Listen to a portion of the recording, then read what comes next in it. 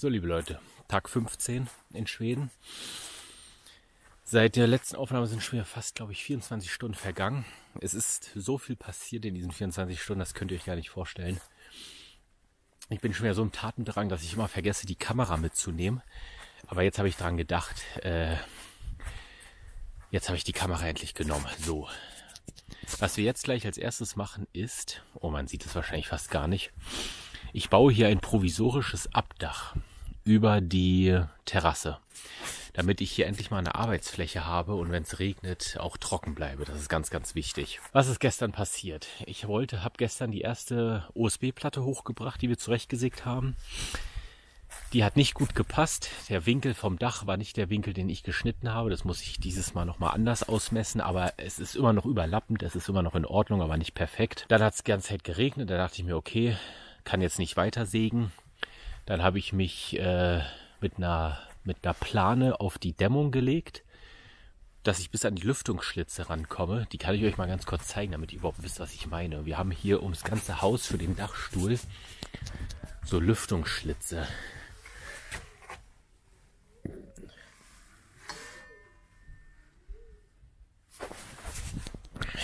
Da war, da war eigentlich mal ein Lochgitter davor, als sie das gebaut haben, aber ich glaube, so ziemlich jedes Tier hat es geschafft, dieses Lochgitter wegzubeißen. Da sind Mäuse hochgekommen, ich glaube Ratten, Hornissen, Wespen, also ziemlich alle Tiere sind da oben in den Dachstuhl reingekommen, die durch diesen Schlitz passen. Auf jeden Fall ist der Schlitz wichtig, damit Luftzirkulation im Dachstuhl stattfindet und sich kein Schimmel ansetzt. Wir wollen aber natürlich den Dachstuhl aufmachen, also die runterhängende Decke aufreißen. Und dann müssen natürlich auch die Luftschlitze zu, weil sonst die Luft natürlich direkt in unseren Wohnraum kommt. Deswegen musste ich mich bis zu allen Schlitzen vorrobben und die ausmessen und gucken, wie ich das mache. Das hat dann auch gut lange gedauert, bis ich beim vorletzten Luftschlitz angekommen bin und plötzlich einen Wasserschaden entdeckt habe. Da war ein Brett von unten, also von der Innenseite zum Dachstuhl hin nass und es hat auch schon Schimmel angesetzt allerdings sehr punktual. Dann habe ich natürlich erstmal sämtliche Projekte abgebrochen, musste gestern bei Schneesturm mitten in der Nacht auf das Dach rauf und gucken ungefähr, wo das ist. Und ich bin der Meinung, ich habe es gefunden. Es ist wahrscheinlich so eine Schraube, womit dieses Blechdach festgemacht ist. Diese Schrauben haben so, ja, so eine dicht, so eine dicht, so eine Dichtverdichtung drunter, dass da natürlich kein Wasser reinläuft. Und ich glaube, da ist Wasser durchgekommen. Dann die Schraube runter ins Holz und dann von Holz zu Holz runter, bis es dann im Dachstuhl war. Jetzt habe ich die Schrauben ausgetauscht und muss das jetzt halt erstmal beobachten. Ich habe mir aber heute auch noch witterungsbeständiges Silikon geholt, was ich in die Löcher reinballer. Und dann baller ich nochmal neue Schrauben rein und dann muss ich gucken, ob das trocken wird. Weil im Dach an sich habe ich kein nichts gefunden. Es können nur die Schrauben sein, womit das Dach festgemacht ist. Das ist halt das Nachteil, wenn man, der Nachteil, wenn man keine Pfannen hat, sondern so eine ganzen äh, Paneele, die mit Schrauben festgemacht werden müssen. Naja. Ähm, heute, ach, das kann ich euch auch noch kurz zeigen. Heute kam meine 4G-Antenne endlich an mit 10 Meter Kabel. Die wollte ich hier draußen mal an den Router anschließen und ähm, irgendwie, ich weiß es nicht, ich habe das an den Router angeschlossen und plötzlich hat der Router nur noch rotes Licht angezeigt und jetzt geht der Router nicht mehr. Die SIM, an der SIM-Karte im Router liegt's nicht. Also wir haben ja über mobiles Datennetz hier einen Router, also Internet. Und äh, wenn ich die Karte in mein Handy mache, habe ich Internet im Router nicht mehr. Ich muss anscheinend irgendwie diesen Antennenanschluss, ja, einen Wackelkontakt drin verursacht haben oder so, weil die Kabel haben auch nicht so perfekt draufgepasst. Die haben miteinander so ein bisschen ähm, sind aneinander gestoßen, weil die zu das Schraubgewinde ein bisschen zu groß war. Deswegen muss, hat es ein bisschen hoch und runter gebogen und so muss der Antennenanschluss kaputt gegangen sein. Die Router hat 140 Euro gekostet, haben wir direkt mit der Karte dazu gekauft. Da gehen wir morgen in den Shop. Ich habe den Bon noch und tauschen den erstmal um. Und dann muss ich gucken, ob ich einen anderen Router nehme oder mir einen Adapter hole, der das möglich macht, dass man dieses Kabel von der Antenne anschließt. Ja, für ähm, ich bin generell unzufrieden mit der Luftzirkulation im Dachstuhl, weil die Dämmung teilweise auch vor diese Luftschlitze gedrückt haben. Deswegen muss ich jetzt heute Abend nochmal hoch und muss die Dämmung vor allen Luftschlitzen wegziehen, weil ich das Gefühl habe, die Luftzirkulation im Dachstuhl ist zu schlecht. Da sind manche Nägel schon verrostet und an manchen Stellen ist wie so ein weißer Schimmer über den Brettern. Ich weiß nicht, ob das Salzausbeulungen sind oder ob das schon Schimmel ist. Ich weiß es nicht. Ähm, auf jeden Fall muss ich dafür eine bessere Luftzirkulation sorgen. Und ähm, habe mir sowieso überlegt, heute hatte ich einen Geistesblitz beim Autofahren, dass ich äh, das mit dem Dachstuhl ausbauen doch nochmal ganz, ganz anders mache, so dass die Gefahr für einen Wasserschaden und für Schimmel am geringsten ist. Das werde ich euch allerdings am Computer zeigen, weil das ein bisschen komplizierter ist.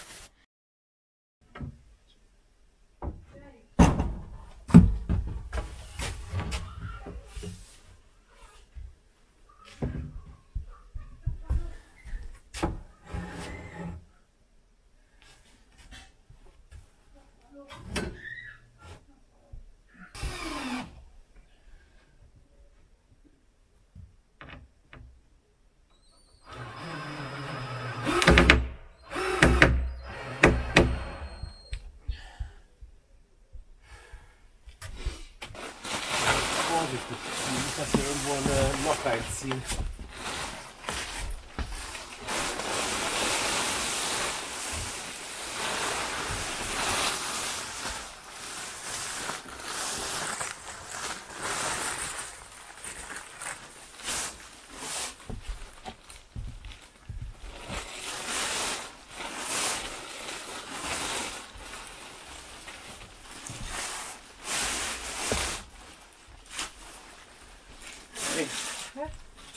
Вона стужила.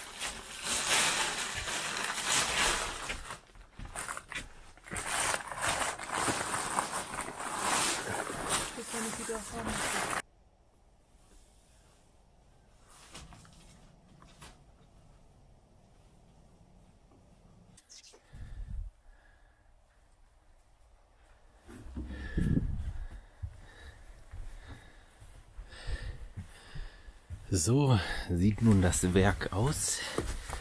Gucken.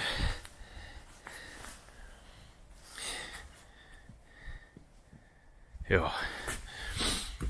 Ich bin zufrieden dafür, dass wir für diese Konstruktion jetzt äh, fünf Latten 25 Euro ausgegeben haben. Die Plane gab es, glaube ich, für 10 Euro mal in so einem Sonderposten. Die ist halt super dünn. Und äh, die wird auch nicht lange überleben, aber die ist halt riesig und hat super wenig gekostet. Ihr wundert euch nicht, dass das die doppelt umgeschlagen, das, das, das Dach ist da eigentlich da drüber. Also wir haben Gefälle von ungefähr auf drei Meter, ungefähr 20 Zentimeter. Ich denke, das reicht, dass normaler Regen abläuft. Klar ist die Gefahr groß, dass jetzt hier in so großen Räumen eine Pfütze entsteht, wo das runterdrückt, aber hier muss man halt regelmäßig rauf und dann das hochschlagen. So, das ist ja jetzt kein großes Ding.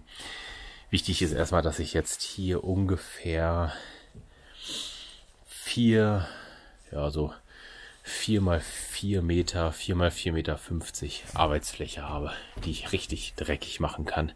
Hier kann ich sägen. Hier habe ich Platz, hier steht nichts im Weg. Und ich denke mal auch, dass die Terrasse, man sieht ja hier zum Beispiel den Unterschied von nass zu trocken. Ich denke mal auch, dass die Feuchtigkeit sich jetzt im Mittelbereich zurückziehen wird. Und die Terrasse dadurch auch mal ein bisschen trocknet. Nicht, dass es jetzt irgendwie wichtig wäre, weil die im Sommer sowieso wegkommt. Da ja hier unser Schlafzimmer dann ist. Mit hier in die Richtung Glaspanorama zum Wald. Da sind übrigens die Hunde, Sieht man sie?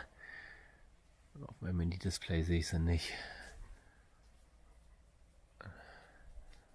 Oh, oh, ein Wolfsrudel. Ja, ich würde sagen, eigentlich wohl musste ich ja heute noch einiges im Dachstuhl und auf dem Dach machen, aber das, äh, es sind einfach minus ein Grad oder null Grad. Man sieht auch schon, Tauwasser setzt sich hier an. Krass, wie schnell das geht. Ich würde sagen, ich mache morgen erst weiter und für heute reicht das.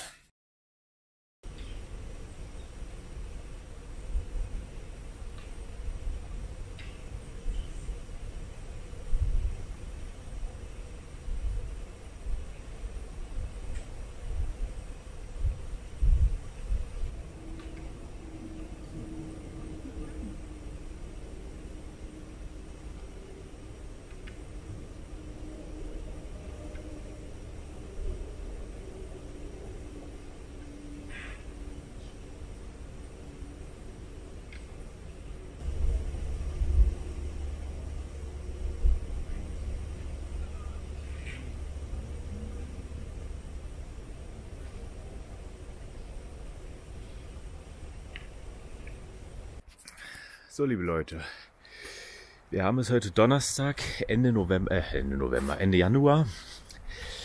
Das bedeutet, heute müsste eigentlich, ich glaube, Tag 23 in Schweden sein. Ich habe jetzt die letzten Tage mal ein bisschen weniger aufgenommen, beziehungsweise gar nicht. Äh, ja, weil es ist jetzt nicht so viel Spannendes passiert. Klar, wir haben wieder große Schritte gemacht, aber ich werde jetzt ja auch nicht jeden Furz aufnehmen. Ich habe Stromleitungen verlegt die letzten Tage. Eine Stromleitung in mein Büro, über einen Dachstuhl in mein Büro, dass mein Büro eine eigene Sicherung hat. Und dann habe ich drei Stromkabel ins Badezimmer gelegt. Eins für den Trockner, eins für die Waschmaschine und eins für die generelle Elektronik im, der, im Bad. Denn es kam jetzt mein Paket aus Deutschland an wo die ganzen äh, Fittinge drin sind für die Mehrschichtverbundrohre. Und jetzt warte ich halt nur noch auf das Mehrschichtverbundrohr. Das habe ich mir hier im Amazon SE bestellt, also schwedisches Amazon und Versandzeit war angekündigt mit ein bis zwei Wochen. Es sind jetzt inzwischen, glaube ich, zwei Wochen tatsächlich heute. Und ich habe jetzt mal gemerkt, das wurde aus Italien verschickt. Deswegen dauert das so lange und das soll jetzt auf jeden Fall heute oder morgen noch ankommen. Bin mal gespannt, weil dann kann ich endlich mit dem Badezimmer anfangen. Das ist natürlich ein Riesenprojekt, wahrscheinlich sogar das größte Projekt aktuell. Aber das ist ein anderes Thema. Neben den Leitungen, die ich verlegt habe, war mein anderes großes Projekt, was ich gestern abgeschlossen habe. Und zwar habe ich einen Holz, ein Holzlager gebaut, ein Holzunterstand, wie man es auch immer nennen will.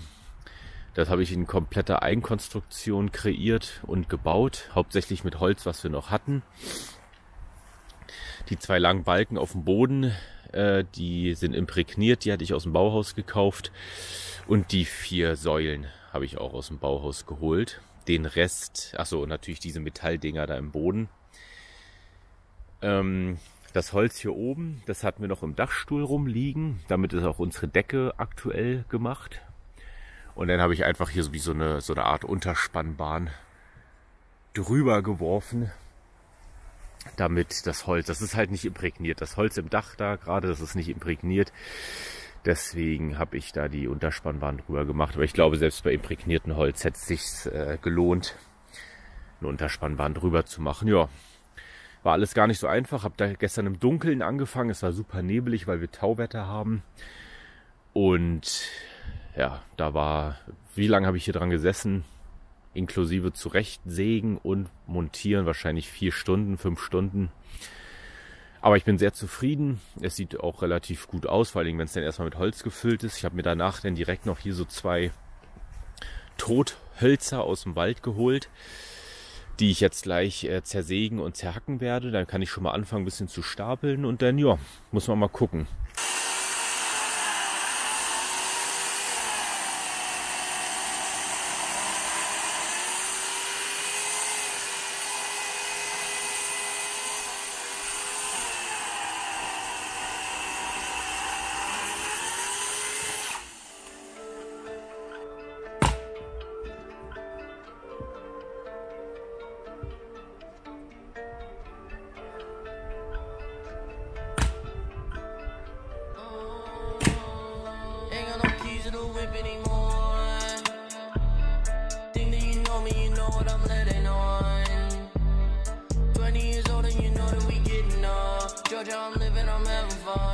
Got no patience, don't hit me up.